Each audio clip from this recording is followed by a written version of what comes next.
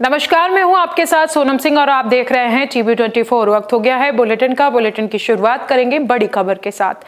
भारत को एक बार फिर से कोरोना डराने लगा है। कई राज्यों में सामने आए हैं जेएन वन के मामले। 24 घंटे के भीतर 628 नए मामले देखने को मिले हैं।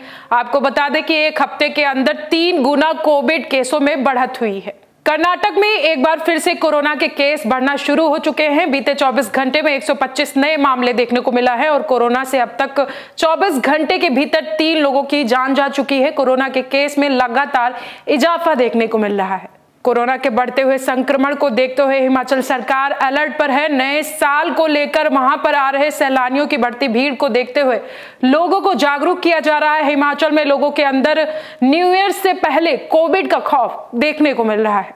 लोकसभा चुनाव में अब बस चंद महीने का वक्त बचा है। बीजेपी पूरे ज़ोर शोर के साथ इसकी तैयारी में जुट गई है। आपको बता दें कि बीजेपी इसकी तैयारियों में जुटी हुई है और जेपी नड्डा, जो बीजेपी के अध्यक्ष हैं, वो इस समय गाँव चलो अभियान की शुरुआत कर चुके हैं और चिट्ठी लिखकर सभी को निर्देश दे चुके हैं कि गाँव चलो अभियान से सभी कार्यकर्ता जुड़े। उत्तर प्रदेश में सहायक शिक्षकों की भर्ती का रास्ता साफ़ हो चुका है। यूपी के बेसिक शिक्षा परिषद के सचिव प्रताप सिंह बघेल ने इसको लेकर जानकारी दी है। राज्य के इक्यावन जिलों के बेसिक शिक्षा अधिकारियों को पत्र लिखकर निर्देश दिया जा चुका है कि सेलेक्टेड 6,470 उम्मीदवारों की फाइनल लिस्ट 27 दिसंबर को जारी की जाए। उत्तर भारत में कड़ाके की ठंड शुरू हो चुकी है। पंजाब, हरियाणा, उत्तर प्रदेश और राजस्थान समेत मध्य प्रदेश व दिल्ली एनसीआर में न्यूनतम तापमान गिरकर 6 डिग्री सेल्सियस तक पहुँच गया है। वहीं दक्षिण में कुछ राज्यों में इस समय तापमान सामान्य से थोड़ा ऊपर बना हुआ है।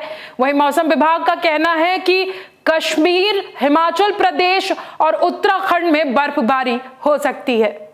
खबर लखनऊ से है, जहाँ पर अमीनाबाद में चार दिनों के लिए होलसेल दवा बाज़ार को बंद कर दिया गया है। जानकारी के मुताबिक हर साल की तरह इस साल भी केमिस्ट एसोसिएशन ने 29 दिसंबर से लेकर 1 जनवरी तक बाज़ार को बंद करने का ऐलान किया है। वहीं फुटकर विक्रेताओं को कोई असुविधा ना हो, इसका भी ध्यान रखा गया है। अयोध्या में भगवान राम के भव्य मंदिर की प्राण प्रतिष्ठा 22 जनवरी को पीएम नरेंद्र मोदी के हाथों होने वाली है। वहीं राम मंदिर के मुद्दे पर महाराष्ट्र के पूर्व मुख्यमंत्री उद्धव ठाकरे ने बड़ा बयान दिया है। उद्धव ठाकरे ने सोशल मीडिया प्लेटफॉर्म एक्स पर लिखा है कि हमारे गृह मंत्री कहते हैं कि रामलला का दर्शन फ्री करा देंगे। क्या रामलला आपकी प्रॉपर्टी है? उत्तरकाशी के टनल में फंसे इकतालीस मजदूरों को निकालने में रेड माइनर्स का अहम योगदान रहा है। रेड माइनर्स ने मात्र कुछ ही घंटों में सुरंग को सफलता से खोदकर मजदूरों को बाहर निकाला था। आपको बता दें कि जो उनको इनाम की धनराशि दी गई थी, उसको उन्होंने लौटाने का ऐलान कर दिया है। जानकारी के मुताबिक सीएम धामी ने उन्हें पचास हज़ार रुपए इनाम देने की घोषणा की थी, लेकिन मजदूरों ने उन्हें लौटाने की बात कही है। सपा नेता डिंपल यादव का बयान सामने आया है। आपको बता दें कि स्वामी प्रसाद मौर्य के बयान पर डिंपल यादव ने कहा है कि स्वामी प्रसाद मौर्य का बयान व्यक्तिगत बयान है। समाजवादी पार्टी का इससे कोई वास्ता नहीं है। तो आइए सुनते हैं कि डिंपल यादव ने आगे क्या कुछ कहा। शुरू से ही राष्ट्रीय अध्यक्ष जी ने इस बात को कहा है कि ये उनके अपने खुद के विचार हैं। ये समाजवादी पार्टी के विचार नहीं हैं और समाजवादी पार्टी इन, उनके विचारों का समर्थन किसी भी रूप में नहीं करती है। फ़िलहाल अभी के लिए इतना ही। आगे के लिए देखते रहे टीवी ट्वेंटी